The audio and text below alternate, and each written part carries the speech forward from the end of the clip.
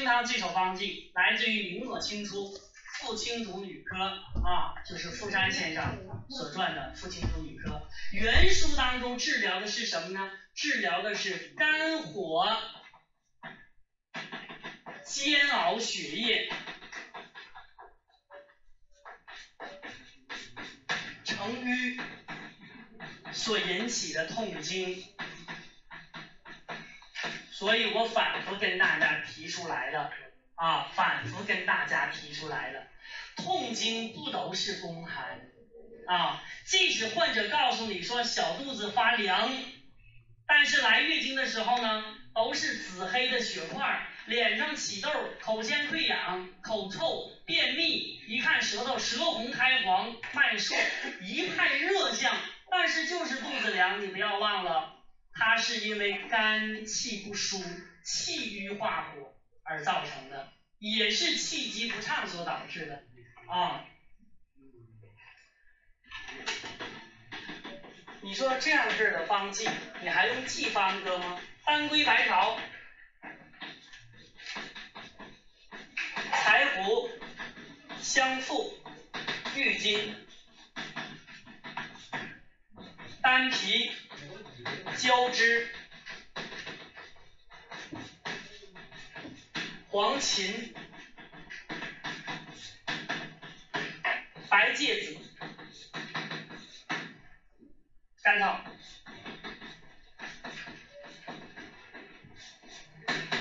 凡是你记住，治疗肝病都得是脾阴用阳，一养肝脏的阴血，第二。疏肝理气解郁，大家看，当归白芍相配，当归白芍相配，这不是典型的养肝脏的阴血吗？养肝脏的阴血，当归补养肝血，芍药养肝阴，所以两者相配，能够养肝脏的阴血。肝不是体阴吗？必须要血充足啊。柴胡、香附、郁金，这不是疏肝理气的吗？这不是助肝用吗？这不还是肝的脾阴用阳吗？我说了，柴芍配，这不是柴胡吗？这不是白芍吗？这是调肝的重要组合。大家看一下，我们把柴胡、香附、郁金，我们后世把它称为疏肝的三剑客。什么意思啊？就是疏肝的最佳组合。所有的组合疏肝都没有这三个药好，柴胡、香附、郁金，只要这三个药，两个药配伍啊，都起很大作用。那三个药配伍都在这儿呢，都上了，是不是啊？没有解不了的郁，是不是？大家看一看，柴胡疏肝理气解郁的一个重要的药物，香附刚才说了，气病之主司，女科之主帅，利三焦解六郁。再有一个呢，郁金，你看一看这个名儿。解郁胜似黄金啊，郁金为什么叫郁金呢？它解郁胜似黄金，所以我们把它称为郁金。所以柴胡、香附、郁金是疏肝的三剑客，也是疏肝的一个重要的啊组合，有疏肝理气的作用。那么我们大家看，丹皮、交枝、黄芩清肝火，你看这个思路多清晰啊！清肝火。阴血，疏肝气，清肝火，肝体阴用阳，以血为体，以气为用，气郁化火就清火呗。那有的人说丹皮清肝火，这个我们大家知道。焦枝子是苦寒的，清三焦之火，对不对？并且能够引肝火从小便排出。那有的人说这里放个黄芩有什么用啊？大家知道，我们在学习中药学当中，常常有一个误区，什么误区呀？我们常常说黄芩清肺热，黄连清胃热，黄柏清什么呀？肾热。黄芩清上焦，黄连清中焦，黄柏清下焦。那是为了鉴别它们三个鉴别的，其实这三个药全是清三焦的。为什么这么说？大家看黄芩，一味黄芩饮。专门治疗肺热咳喘，你看李时珍年轻的时候得了这个肺病咳喘啊，他的父亲就用黄芩一味一两三十克煎汤服用，很快就好，把它叫一味黄芩也，也叫清金散，金是肺吗？清金散就是清肺，所以它能治上焦。那你看它治中焦不？你看我们的半夏泻心汤、生姜泻心汤、甘草泻心汤都有黄芩清胃热、清肝胆热不？小柴胡汤、大柴胡汤，你看柴芍配是疏肝的重要组合，柴芹配是清肝火的重要组合，所以你看黄芩清肝胆之热、清胃热，黄芩还能清大肠之热，我们的葛根芪连汤治疗热痢。葛根黄连黄芩吗？你看清下焦不？所以黄芩也是清三焦之火的啊。我们说清上焦、清中焦、清下焦，那是为了跟这三黄相间谍。其实这三黄都是清三焦之火的啊，清三焦之火的。那有的人说，那你丹皮、交枝、黄芪，你都说是清三焦之火的，这里边你为什么说它清肝火呢？因为它在柴胡、香附、郁金的带领之下。因为这三个要全入肝经，疏肝解郁，那你清火肯定清肝火的，对不对？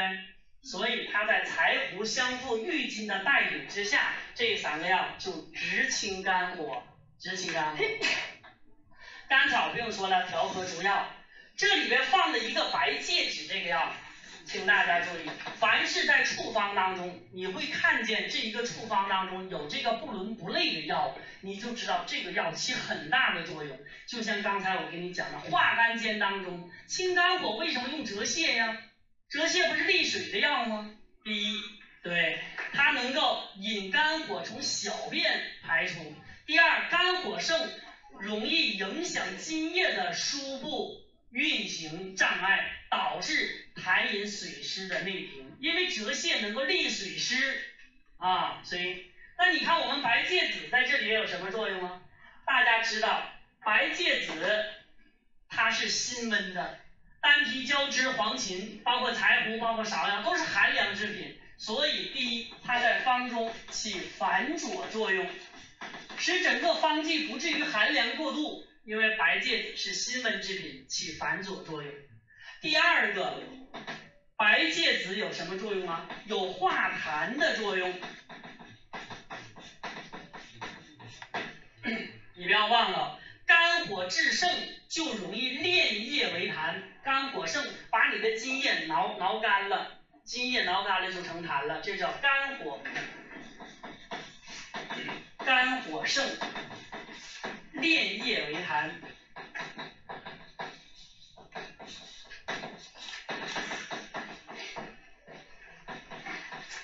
肝火盛，烈液为痰，所以白芥子有化痰的作用。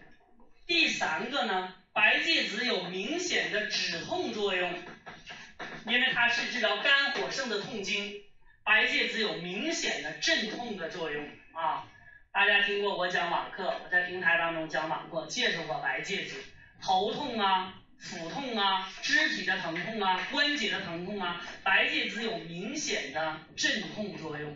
因为我们知道肝火盛所引起的痛经，第四个，它有通络散结的作用，通络散结的作用。我们古人说过一句话，叫做什么呀？叫做皮里膜外之痰，非白芥子不能治。白芥子专门能够治疗皮里膜外之痰。所以你看，我们对于乳癖的治疗、乳腺结节病的治疗啊，我刚才给你讲个化肝煎，我们首推有火的，我们首推它，为什么？因为肝火，你看有气滞，柴胡、香附、郁金行气，有血瘀，有的人这里哪有活血药啊？当归活血，丹皮活血，芍药活血，看看郁金也能够活血。还能够化痰，白芥子化痰，还能够清火，丹皮、交枝、黄芩，所以气滞、血瘀啊、痰凝，这气滞以后导致肝火，你看它针对于它全能照顾到了，所以白芥子在这里面起的作用很大，不能扔掉啊。我还要说一下，我们在临床当中不能用黄芥子代替啊。凡是我们颗粒剂当中写的芥子的，都是黄芥子，它不是白芥子，它作用极其差疗效啊，你必须要用白芥子啊，所以我们啊家里边都有炒白芥子，我们一定要用白芥子啊，白芥子。那么这个当归啊二十克，白芍二十克，柴胡这疏肝药剂量不要太大啊，柴胡。十五克，香附十五克，郁金十五克，丹皮十五克，焦栀子十克，黄芩十克，白芥子十克，炙甘草十克。啊，你看这一个方剂，照顾到乳腺结节的所有病机，气滞导致的化火肝火，导致啊痰凝，导致血瘀啊。所以我曾经治疗一个患者，我就是这个方，我一直我守三个月，他是乳腺的三级结节啊，多发性三级结节，我已经让他吃了三个月药，因为这是我一个网诊的患者啊，是我一个呃福州的患者啊，我在网上微信当中给他拍的啊。那么不久前他给我发来一个微信，他说于老师非常感谢你，我吃了这个药方三个月，这次我又复查一个这个四维彩超，告诉我双侧结节完全都消失，一点都没有了啊，就吃这个方，我一看给我发过来啊，就是这个方啊，就是这个方，加的是刺激力和姜蝉啊，加的刺激力姜蝉，以后会告诉你它怎么加减 啊，所以。乳腺结节首推的是这个啊，首推的是这个有火的，首推这个，不首推化肝煎。什么时候推化肝煎呢？它有浮肿的时候推化肝煎。化肝煎清火的力量也很好，但是它也有化痰的作用啊，因为有贝母啊，因为有贝母，也有化痰散结的作用啊。有没有活血作用？有，因为有丹皮。其实焦栀子也能够活血。大家知道我们现在有一个叫栀子注射液，专门治疗冠心病、心绞痛的，说明栀子有一定的活血化瘀的作用。那么在我们民间，大家知道跌打损伤、扭伤的时候，把这个栀子拿来给它捣碎了，用黄酒外敷在局部，当天晚上敷完，第二天早上起来消肿。消肿之神速，也让我们看见栀子的活血化瘀的作用是很强的啊，是很强的。这是我们讲的这个宣瘀通经汤。那么清肝火还有一手方剂，等我讲完以后，我再跟大家鉴别一下这手方剂啊，什么时候这三个怎么区别应用？都有肝火，那你怎么区别应用啊？等我讲完一起呢，我再鉴别啊。行，那我们先休息一下，先下课啊。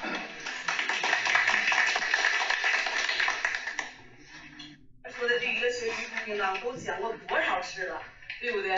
所以说就是这一个方我们掌握好，能治疗很多疾病。最早我讲到热性痛经的时候，就讲到血瘀通经汤，然后讲到这个肝火头痛的时候，又讲到血瘀通经汤。包括我讲到多囊卵巢综合症的时候，肝火引起又是血瘀通经汤。今天又要讲到结节疾病，还是血瘀通经汤。也就是说什么意思？中医其实吧，虽然是真的很难，但是也是越学越简单。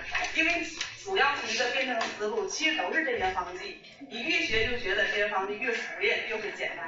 那么我们上一堂课呢，讲的是月经。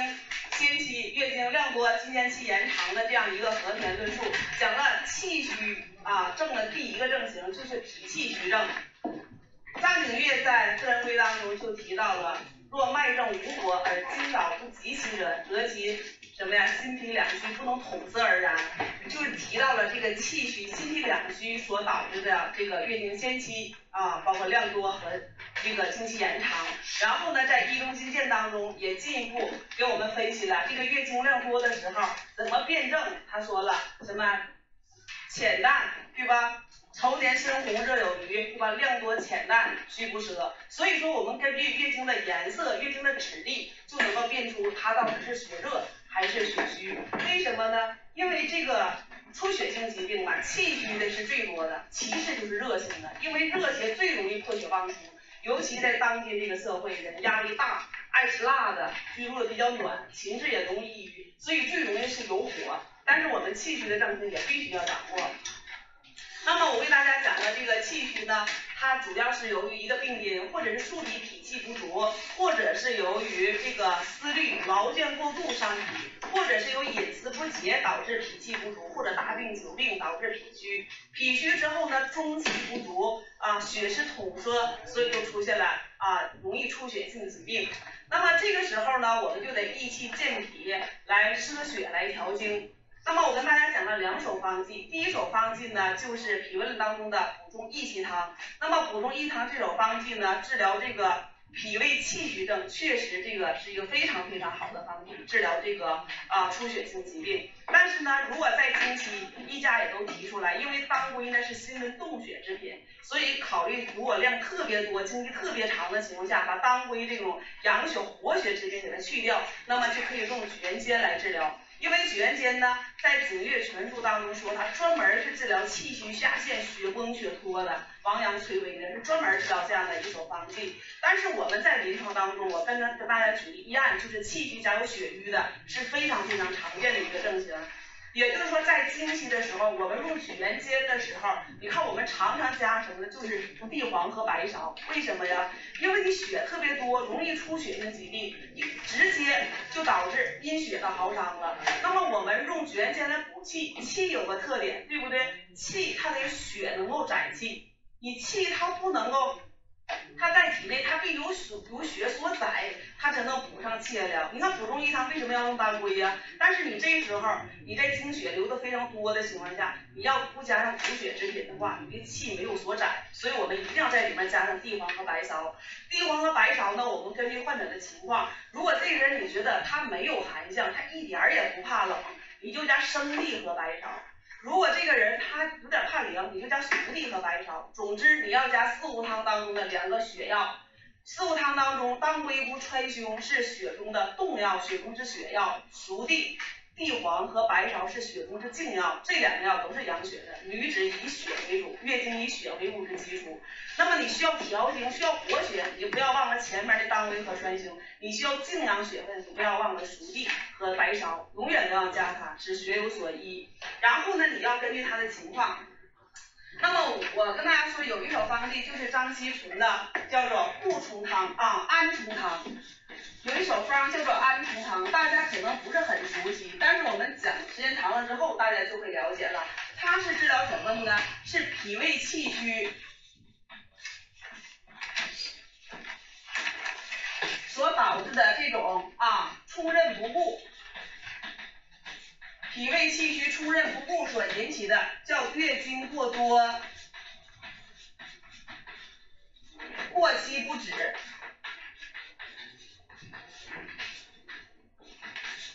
或不时漏下，专门是这个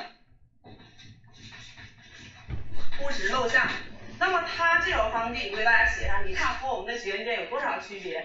它是黄芪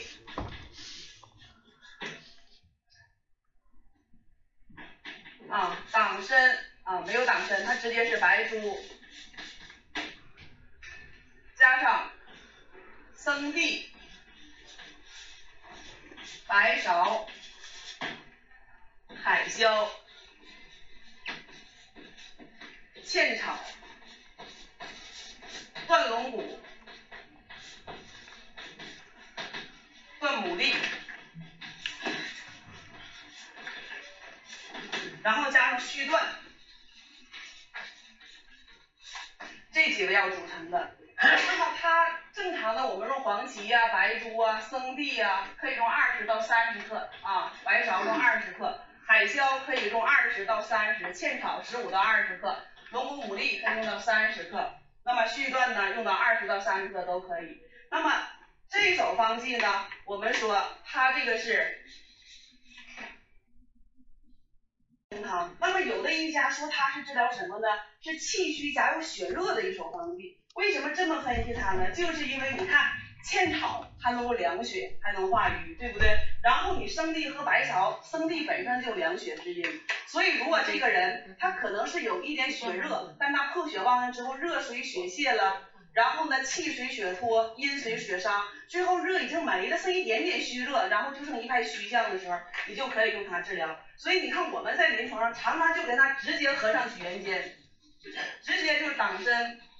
再配上生麻，你看这不就是举元坚吗？把它配在里面了，啊，就直接治疗这种疾病。而我给大家举这个医案当中，就是在经期的时候，这个患者他明显的内膜特别厚，已经诊断明显的血瘀了，所以我刚才讲的时候就把龙骨牡蛎给它拿掉了，它是一个收敛止血之品，就换成了蒲黄和灵脂来化瘀止血。所以你看我们这个方它都是根据这个名方化裁而来的。而且张锡纯他有一个特点，他止血最擅长的就是用海椒、茜草和龙骨牡蛎，不管是在安冲汤还是在固冲汤当中，都用这两个止血。因为龙骨牡蛎呢，这两个药它好在哪儿呢？第一个它有收敛止血的、收敛固涩止血的作用，但是它收敛之中呢又有开通之性啊，而且它是化痰之神品，在化痰的时候也用它。然后还是一个镇静安神稳心的一个主要的药物，包括还能够滋阴潜阳，包括镇肝醒风呢还用它。那么张锡纯认为这一组药物呢，专门能够固摄下焦，起到一个止血的作用。但是大家一定注意，这个时候一定兼点血热。就这个人，比如说我肚子特别怕凉，小肚子凉，然后血还特别多，那你不能这么用啊，对不对？你最起码你的地黄你得改成熟地。然后你这个海椒和茜草，你这个不能用了，对不对？你加艾叶和泡姜，哎，一下子就把这个方剂它这个寒温就扭转过来了，对不对？止血药其实无非就四类，我跟大家简单的写一写。止血药什么意思呢？就是说我们在治疗这些疾病的时候，平时是重在治本与调经，也就是针对它的病因病机去治疗。但是在经期，因为它出血过多或者经期延长，我们一定要什么？第一要减少出血量，第二要缩短经期，这是我们的治疗目的。也就是说，在经期的时候，你要加点止血的，就这个意思。但是止血药你咋加？你第一个就是收舌止血，啊，收舌止血制品。第二个就是化瘀止血制品。第三个，那么就是温经止血之品。第四个，那么就是凉血止血之品。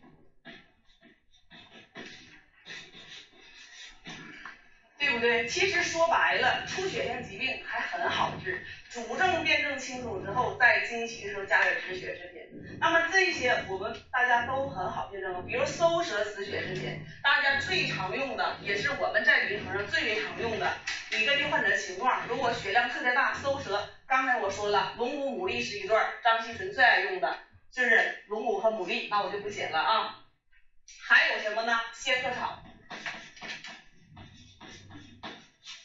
仙鹤草，仙鹤草这个药好在哪儿呢？它既能收敛止血，又能补虚强壮，特别适合虚性的这种出血啊。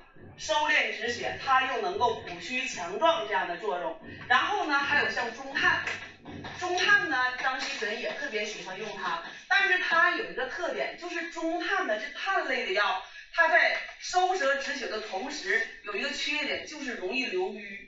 所以我们在一般的情况下，反正是不是特别严重这种实在出血血崩情况，基本上不用它，因为你用完它流瘀，你还得加上化瘀的药。所以呢，比如说中炭，还有什么呢？刚才我说的龙骨牡蛎写了啊，还有海消，就是啊海海飘消，也叫做乌贼骨，它也是收敛止血的一个药物。海消啊，仙鹤草，中炭这几个药物，必对于像白及呀。像藕解啊，一般情况我们都不用，因为白及呢偏于像胃肠的出血，像藕解呢偏于上部的出血，所以我们你看这几个就够用了。你随意的选一对儿啊，龙骨牡蛎，你不能说都选上，你都选上那那太多了，对不对？收敛止血不能那么选，这是在收敛止血当中。第二个就是化瘀止血，化瘀止血既能化瘀止血的药就那么几个，所以第一个就是。蒲黄，对，刚才说了，蒲黄，灵脂可以，对，它俩有个特点，蒲黄、灵脂失效散呢，灵脂是偏于止痛，活血化瘀偏于止痛，它是活血化瘀偏于止血。然后呢，还有呢就是茜草、益母草、三七，还有吗？就这几个药。而且我跟大家说的一个什么问题呢？就是在任何症型当中，不管我讲多少个辩证症型，化瘀止血之药是你必加之品。为什么呢？就是久漏必有余，虚也行有余，热性降凹血也出瘀，寒凝也得出瘀。用西医的话讲，你都内膜厚，人家一刮你就止血。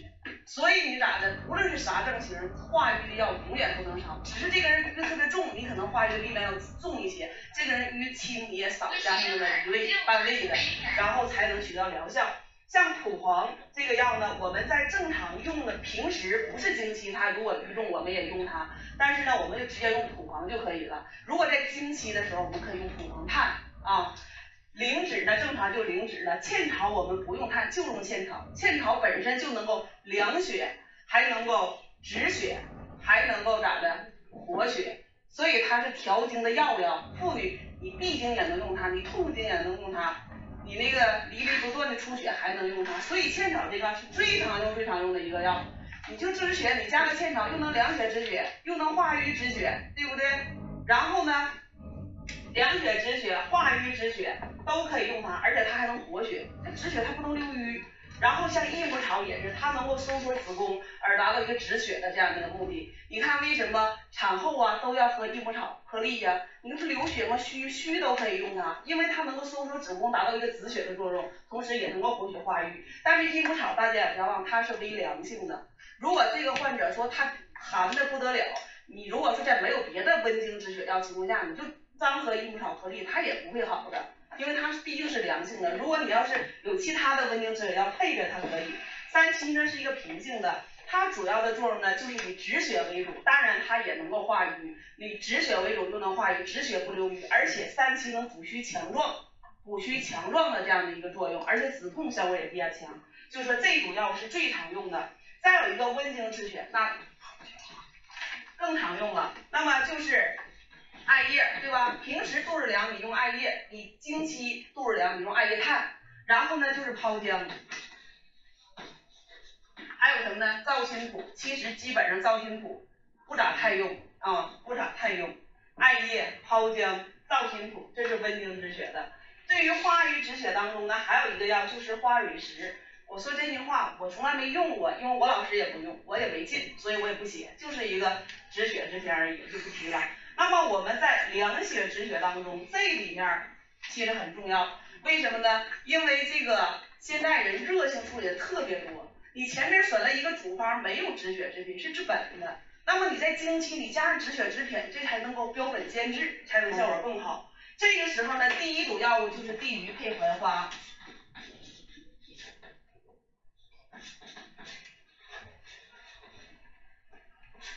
地榆配槐花。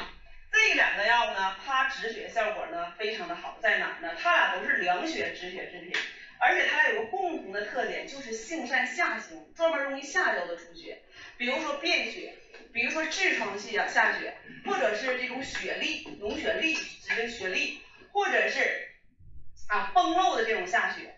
它都有非常好的凉血止血的作用，但是地榆它还有一个酸性的作用，它有酸涩的作用，在凉血止血的同时又能够收敛止血，而槐花呢在凉血止血的同时又能清泻肝火，所以它俩在凉血热的时候非常适合用。而且地榆有个特点，不用用地榆炭，因为现在药理研究都说了，说生地榆的止血作用要优于地榆炭，我们能不用炭尽量不要用炭，用炭之后就容易流瘀。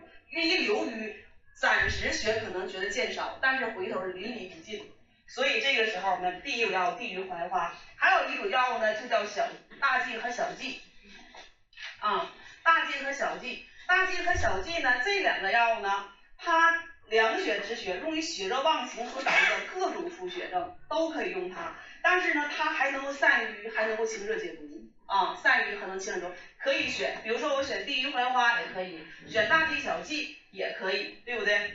那么治尿血最好用的一对是谁来着？在凉血止血当中，小蓟和白茅根是最好的用用，这尿血当中血热型的。但是我们说你得根据情况啊，你崩，你这月经是月经这种下血，崩漏这种下，或月经过多的下血，我们不用白茅根，白茅能利水。对不对？因为血本来阴血就损伤了，你不要再利了。像侧柏叶呀，其实也可以用，但是呢，我们说你选择你要用了剂那么多，你会那么一对儿两对儿的其实就够用了。就是这几种药物当中，大家要注意，总是从这几种药物当中选，根据患者的情况。像有的人本来是血热来的出血，但是出血量太多了，出血时间长，热水血泄了，没有热了，就不点儿热，那你就像我刚才说这个安宁汤的基础上，你 稍微加一点点凉血就可以了啊。这是止血药的应用。那么我跟大家呢再讲一个疑案，这个呢是我为大家整理好的一个病例。这个患者呢是一个女性患者，四十一岁。啊，这个患者呢是一个高中的老师啊，工作压力呢平时也特别大，因为他是带这个班主任的，压力大，然后呢啊睡眠呢也不是很好，主要他来主诉的时候呢就是月经提前啊五到七天啊月经提前五量七天，然后呢量比较多，大家记一下可以啊。然后呢，它出现了什么呢？色呢一开始是淡红的，但多那两天呢，伴有点小血块，就是血色就是正常了，带点小血块。然后子弟来讲呢，相比之下是基本上偏于正常，用他的话说，基本上就算是正常，有一点点稀。但他最主要的症状就是心慌心跳、失眠多梦，总也睡不好觉，然后心慌心跳、失眠多梦啊。然后伴有就是啊，因为他这种情况呢，都已经持续将近两年多的时间了，所以他平时也是面色有点发萎黄，然后神疲乏力啊，神疲乏力，气短懒言，用他自己的话说，跟学生多说点话都心累得慌，所以他就伴有一派乏力的这样的症状。然后呢，舌是淡的，苔是薄白的啊，舌淡红，苔薄白。脉沉缓沉细这样的脉象，而且细看他这个眼睑都稍微有一点点贫血的这种感觉。那么对于这样的一个患者，如果我们辩证的话，会辩证为什么症型呢？气虚是不是？是气虚不假，但是这个时候一定要辩证为心脾两虚啊，心脾两虚，脾不统血。这个时候大家注意，就是说。心脾两虚，脾不统血。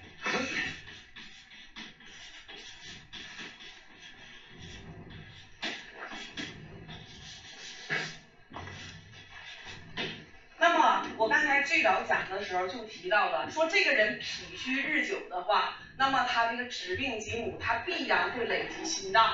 然后导致呢，引那个补气之旧，导致日久心气也不足。所以心气不足最主要的临床表现呢，就是在脾虚的基础上出现什么呢？心慌、心跳和失眠多梦。因为心有两大功能，心主血脉，心主神志，影响了心的功能，一个心慌心跳，一个就失眠多梦，睡不好觉啊。这个两个是非常主要的，要不然你不能辩证心脾两虚。那么这个时候，只要伴有新的症状的时候，我们就辩证为心脾两虚。心脾两虚的时候，那么我们在治疗的时候，我们就不能再用补中益汤或者是血煎了，因为它不能有心血的药物。所以这个时候呢，我们要补益心脾，固冲调经。补益心脾、固冲调最好的方剂是哪一种来着？对，大家都知道，对吧？归脾汤。那么归脾汤呢，这种方剂呢，呃。它是主要是从灵炎是起生方的一种方剂，我把它写下来。那么我们的老师的经验，比如说这个黄芪啊，写上，你可以用人参，不差钱儿用生晒参，差钱儿那就党参啊。白术，然后这时候呢加茯神，为什么呢？因为茯苓有淡参利水的作用啊。当归、龙眼肉。枣仁儿、远志、木香、甘草。木香甘草。那么这样的一个患者呢，黄芪我们正常都是一天半的量是三十克，党参二十，白术二十，啊炒白术二十，茯神二十，当归可以用十五到二十克。龙眼肉可以用十五克，枣仁儿十五，枣远志十克，远志吃多了恶心，量不要太大。木香可以用六到十克，甘草呢是十克。如果我们说这个归脾汤呢，它主要是益气补血、健脾养心的一种方剂。那么它主要治疗呢，一个是心脾气血两虚症，一个是脾不统血症。如果你没想到这种方剂，你肯定是对这种方剂不熟悉，因为它主症一个是脾不统血症，一个是心脾气血两虚症。你一定要知道，心脾气血两虚症，也就是指的是面啊，第一个。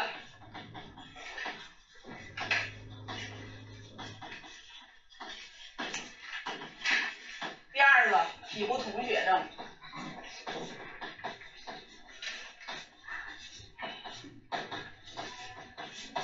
气血两虚症，就是说这个人他肯定有心慌心跳、失眠多梦，然后呢带有面色萎黄啊，气先别吵，我没写完呢啊，气短懒言呐，面色萎黄啊，舌淡苔白这个症状，这就是心脾气血两虚症。脾不统血症，也就是说脾虚所引起的各种出血。月经过多呀，崩漏啊，我们说积尿啊，尿血呀，所有的都可以用它来治疗，包括崩漏，就是脾不统血症。但是呢，我们在临床当中选择这种方剂的时候，比如说这个患者啊，这个患者我们在治疗的时候，这个是木香啊，甘草，炙甘草。你在平时的时候，你可以加上龙骨、牡蛎啊，三十克，三十克。可以用生的，因为他平时他没有月经啊。为什么我们要这样治疗呢？因为这种方案当中的黄芪、人参、白术干嘛呢？加上甘草，它是益气健脾的，是补脾的。那么当归和龙眼肉呢，是补养心血的，不是心脾气血两虚吗？一方面补气，一方面养心血。然后茯苓、枣儿、眼治呢，能够养心，能够安神，还能稳心这样的一个作用。而木香在这里，只要是起到一个补药补而不滞啊，行气的这样作用。因为补药吃多了，有的人胃肠就胀了，气滞就吃不下去饭了。补而不滞，甘草呢十克。然后为什么我说平数的时候，这个不是经期，是平时的时候，你给它加上龙骨和牡蛎，就是因为龙骨、牡蛎它既能够重镇安神，能稳心。慌的那么厉害，一点觉都睡不着，你光养有时候也养不住。说你加它的同时呢，能重镇，能够安神，能够养心，而且呢，它本身也有收敛固舌止血的作用，加强这种固舌的作用。但是你在经期的时候，一般情况下我们就不这么用了。经期的时候呢，喜欢加什么呢？如果这个患者在临床最常用的就是三七和桑叶，刚才我都讲过了。为什么这么说呢？比如三七可以用六克，桑叶可以用二十到三十克都可以。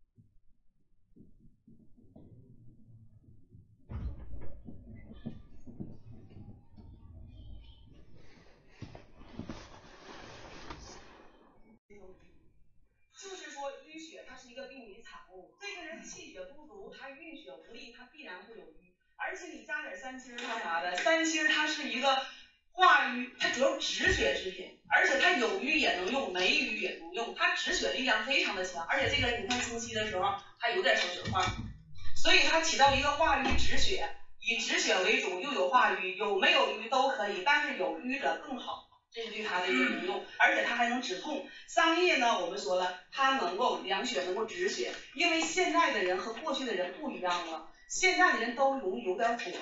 你看过去总是有点寒，对吧？你加点艾叶啊。你看现在人总是爱上点火，所以你这个时候吧，如果他没有特殊怕冷的，你就稍微加点桑叶。它轻柔，它也寒，它也不过，它能够凉血止血，还有止肾的作用。而且黄芪、当归配上三七三叶，我刚才讲过了，叫做加减当归补血汤，这是傅青中女科当中的一手名方，专门治老年血崩症。它能够黄芪配上当归，它能够益气养血，然后三七呢给它止血，还能化瘀，还能止疼，加上桑叶。加上桑叶也是凉血止血之品，你这样配合的话呢，啊没有寒的情况下，啊就非常的好。这个患者经期吃这个，然后呢平时加龙骨牡蛎调理两个多月，睡眠也好了，精神头也足了，血也止住了，也不提前了，量也不多了。所以你看，就是辩证准确是非常非常重要的。再有一句话说，如果这个人要说我肚子怕凉啊，小肚子凉，经期小肚子发凉，那你后边就给他改了，对不对？你就加点艾叶或者艾炭，他就温经止血就止血了，对不对？就根据这个情况，但是我不说了吗？任何止血在经期的时候，月经一定要以通畅为顺。就是这个人经期的时候，他虽然月经多、经期长或者提前，但月经也是以通畅为顺。所以你不要乱用炭类止血，你一定要用一点化瘀止血之品来止血，所以它效果非常的好啊。为什么？再发展不走就是崩漏了。你看一到崩漏呢，一到西医，西医咋治啊？西医能咋止血呀？他当然给你做诊断性刮宫，刷刷一挠马上止住了。那啥呀？那不就内膜还是厚吗？那有的人说不咋厚，零点五，零点五就不厚了。人家内膜脱完了能零点五吗？你零点五你也厚啊，你也止不住这个血呀。所以说，所以这种化瘀止血方法就相当我们西医学的像刮宫一样，一下就给刮了，它就止住了。而且用一些缓和的，对吧？去瘀不伤正的，像三金就是去瘀不伤正之品呢，来止血来治疗。那么这就是心脾两虚症，我讲了这个脾气虚和心脾两虚。那么再有呢，我就跟大家讲一讲第二个大症型，就是气虚当中的肾气虚症啊，肾气虚症不要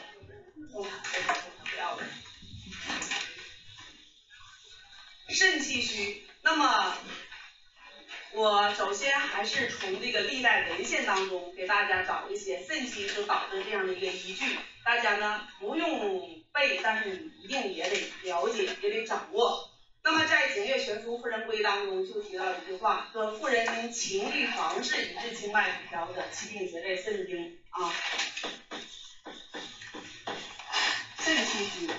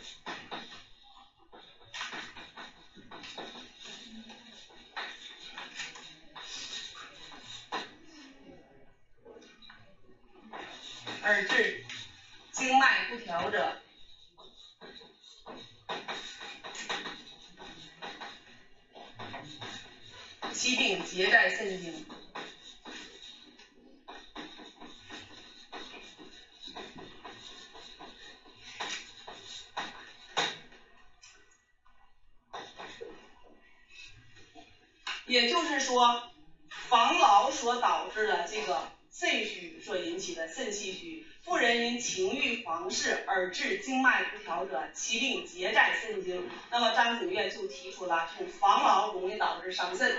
那么还有一部书呢，写的非常的好，就是明代薛立斋的《女科四要》当中的一句话，特别重要。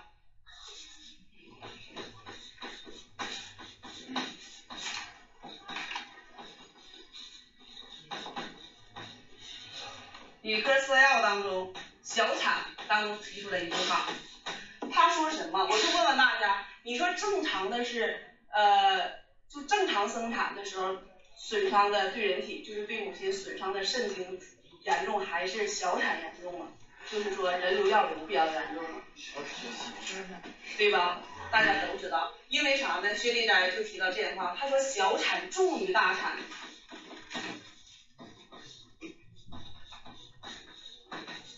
说什么呢？大产如避暑治脱，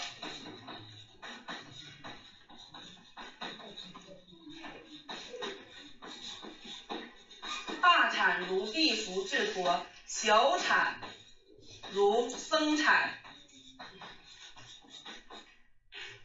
破其皮壳，断其根蒂。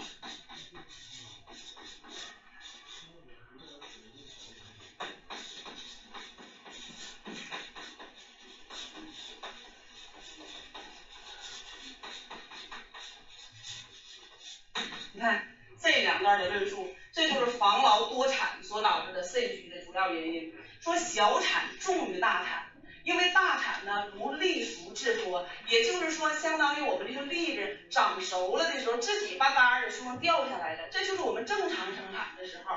但是呢，小产呢如生采，什么意思啊？就生拉拉给它采下来。他说破其皮壳，断其根蒂。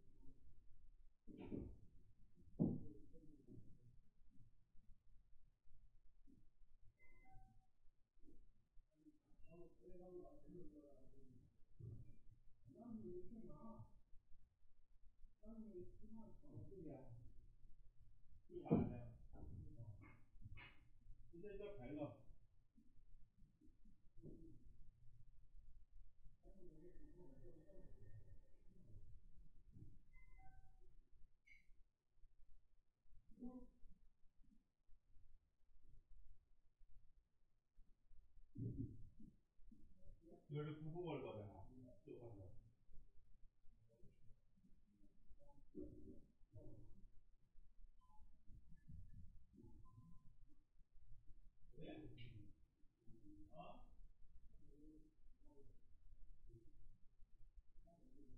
这个后面的一百五。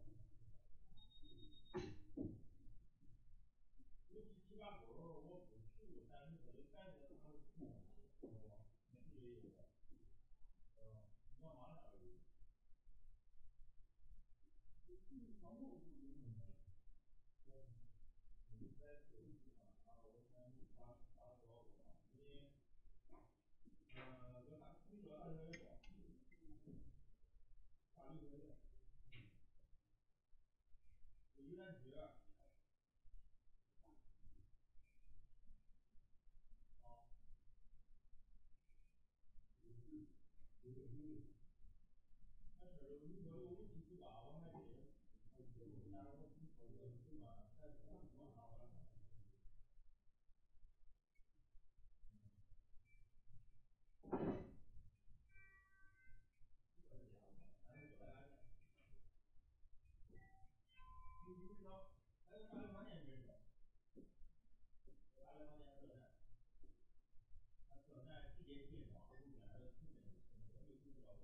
健身房，健身房，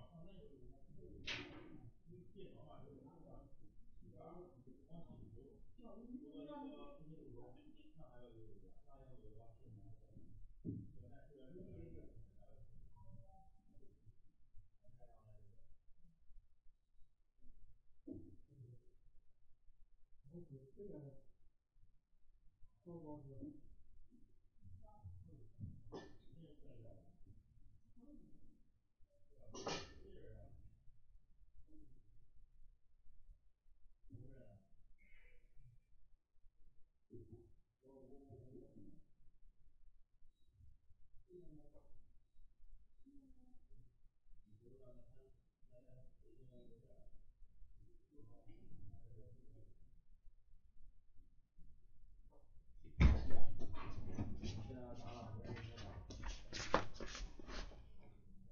人流、药流、刮宫，所以导致的肾经损伤的那不在小数啊。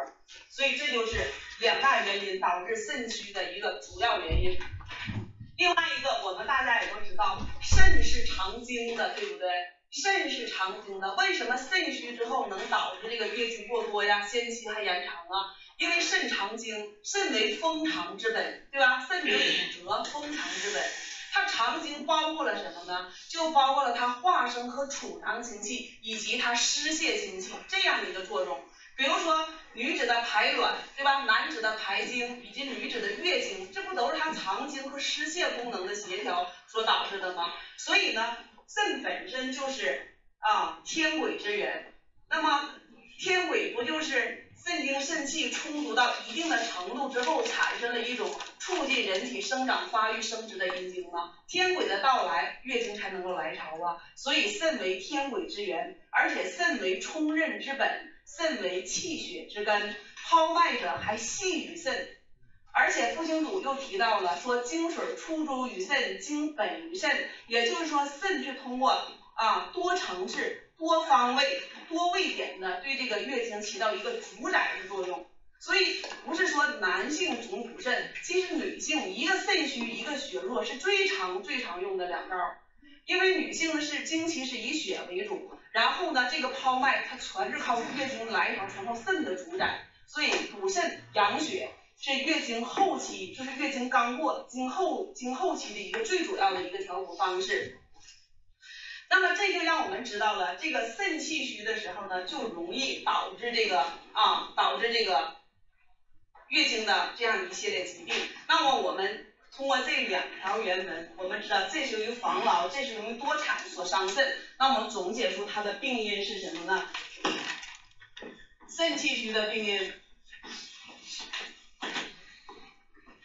第一个不要忘了，就是什么呢？素体啊。肾气不足，有的人素体就肾气不足，就是先天父母给他带来的就不足。那么第二个原因呢，就是啊，绝经期的时候肾气渐衰，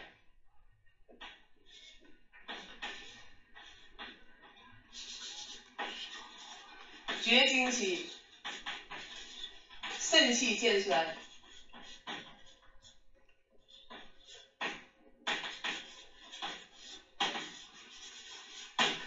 一个呢，就是防劳、多产、伤肾，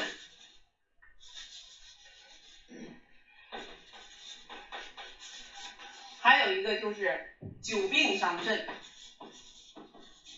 就是这个人为什么会肾虚？那你从这几个原因当中找，或者是先天肾气就不足，或者是快绝经期的时候已经肾气渐衰了，或者平素的时候。防劳多产，反复的人流、药流、刮宫，损伤了肾经，或者是久病之后呢，穷必及肾。我们常说嘛，五脏之伤，穷必及肾。那么最后呢，就导致了肾气虚弱。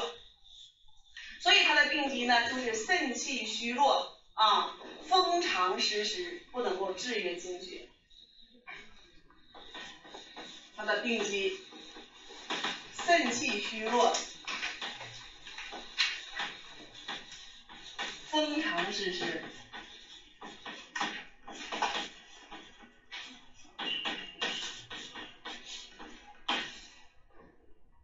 肾气虚弱，风长湿湿之后呢，它不能够制约经血，在经行之际呢，就出现月经的量多啊，或者提前，或者是啊经期延长这样的情况。那么它的主要症状。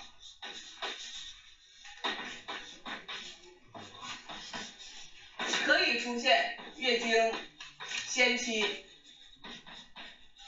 可以出现经期的或，为什么或呢？我们说两种、三种可以同时出现，或量多，或少，或量多或量少，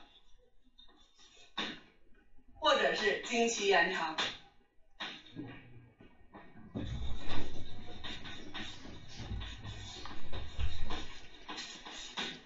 有个特点。血色是淡暗止息，血色是淡暗止息。那么有很多女生她肾气不足的人，她这个血呢，是非常的淡，但它并不是淡粉色，它是淡暗，甚至有的人说像黄泥汤这样的色，还特别紫，也非常稀。因为这个月经呢，血得火才能治，它越有火它越红，它没有火它就会淡。然后甚至它火太少了，肾气不足，肾主黑色呀，所以它还是一个淡暗的这样的一个颜色啊，质地比较清晰。然后如果我们诊断肾气虚的，我们想一想，这是月经的气量设置，全身表现会出现哪些表现？我们诊断肾气虚啊？对，大家一定要知道，就是一定要伴有这种腰膝酸软，腰膝酸软，甚者出现头晕耳鸣。或者出现记忆力下降，或者出现啊性欲减退，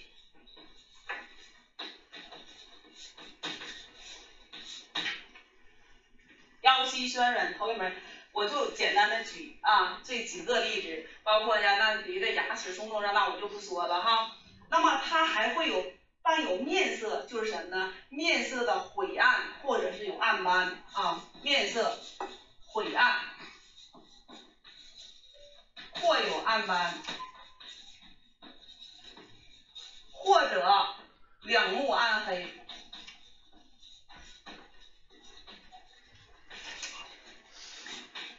什么意思啊？也就是说这个人啊，包括啊两目暗黑也好，面色暗斑的。目的晦暗，两这个目眶这种晦暗，你看到这种暗的时候，其实你诊断主要是两点，一个是血瘀，一个是肾虚。我们在辩证的时候，他有肾虚的症状的时候，他就是肾虚来的；他要有血瘀的症状，那他就是血瘀来的。甚至有的人是既有肾虚又有血瘀，所以这种暗斑、面色晦暗，你不要以为都是淤血，一定要想到肾虚这样的一个情况。然后他舌质是淡暗的，苔是白润的，脉是沉细的啊。舌质淡暗，苔是白的，苔白润，脉沉细，脉沉细。那么只有这种症状出现的时候，我们才能够诊断为是肾气不足所导致的。那么我们先简单说一下它这个机理，因为肾为充任之本，对不对？当肾气不足的时候呢，那么封藏功能失职，所以经血呢失于制约，就会出现或者是先期呀、量多延长这种啊出血性疾病。那么由于呢肾气虚，气也属阳啊，所以它血湿微蓄之后呢，颜色会是淡的或者是偏暗的这样颜色，精微不充，质地是清晰的。那么它伴有这种腰膝酸软，那是因为腰为肾之外府，对吧？那么肾虚之后呢，外府失养，就出现腰膝酸软，而且头晕耳鸣、记忆力下降，这都属于清窍的疾病。因为肾主母生髓，通于脑，那么肾虚之后髓还不足啊，所以清窍失养就会出现头晕耳鸣、记忆力下降。包括肾的肾气虚属阳啊，所以肾气虚的人他常常是性功能啊，性力方面也容易下降。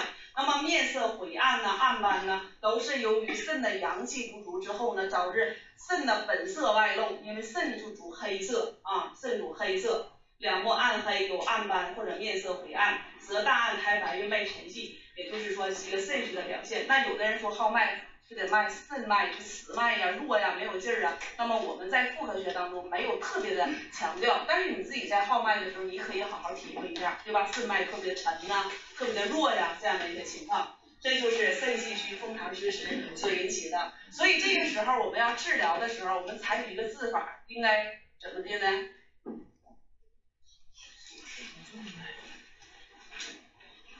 对吧？那就得补益肾气，补充调经，对吧？嗯。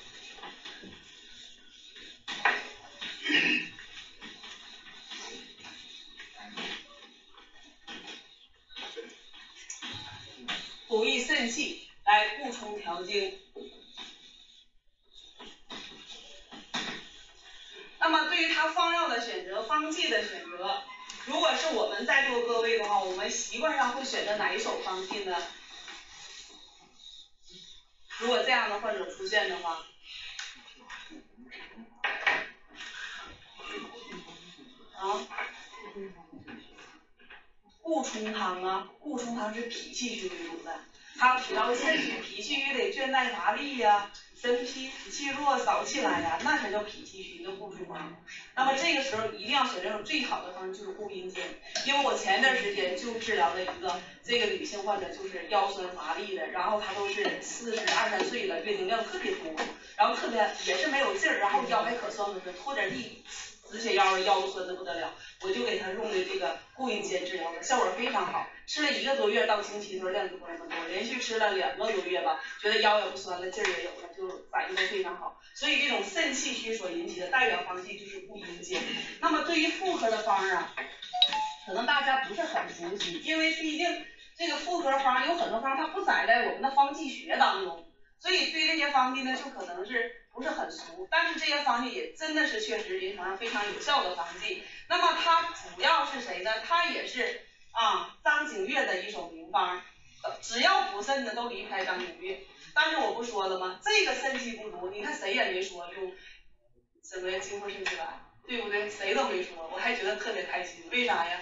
因为肾气丸不能用于妇科这样的一个肾气虚，用的茯苓丹皮折那么利水，月经那么多，你认为合适吗？阴血都不足了，对不对？所以它的选方是和内服是不同的。那么固阴煎这种方剂在原书当中是治疗滑泻，我写个原方啊，大家了解一下，是治疗啊滑滑泻带浊淋漓经水阴虚不固等症。